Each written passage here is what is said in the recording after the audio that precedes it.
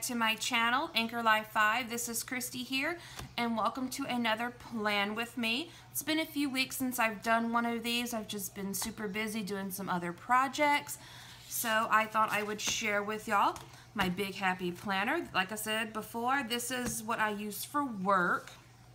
So I do like to keep this one a little bit more subdued than I um, would with my regular one that I use um, for my everyday um, life. so here we go.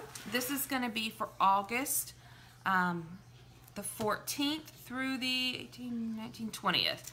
So as always, I just make little tabs here of things that I need to do throughout the week. Um, that just helps me with my pre-planning and then it makes it a lot easier um, when I do get ready to add everything in to just jot it down.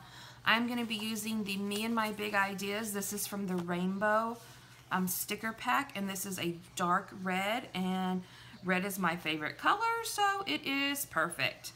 Alright, I'm going to do this and fast forward while I'm doing it so it's not super super long and I will see you guys at the end.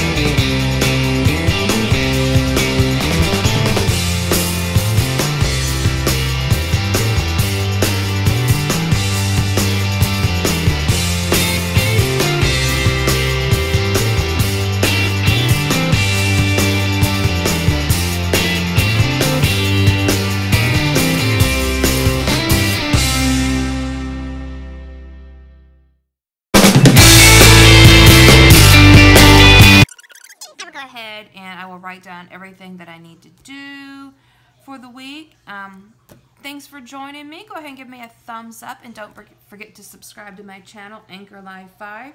Until next time, bye guys.